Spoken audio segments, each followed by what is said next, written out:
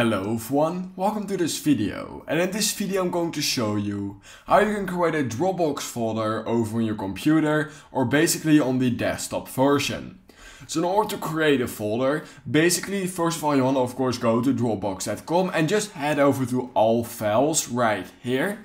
And then once you're right here you will get to this page and what you can simply do is click on create folder right here where you can cl click on and once you've clicked on it basically what you need to do is type a name for that folder. So let's say I basically give it the name test.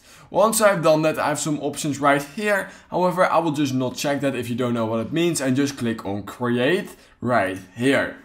Once you've created your folder, you will notice that from all files you will be brought to folders right here. It's basically an extension right here at folders. You can open that extension and it will give you basically all your folders. You will also be able to see the, your folders basically through all files right here.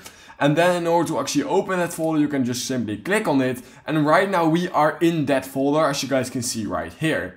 Now let's say that I want to make a folder within a folder. What I can do is click on create folder, folder, and then I can literally give it any name I want again and then click on create and then basically you will notice that this folder is a little bit smaller than that other folder and you've basically created a folder within a folder.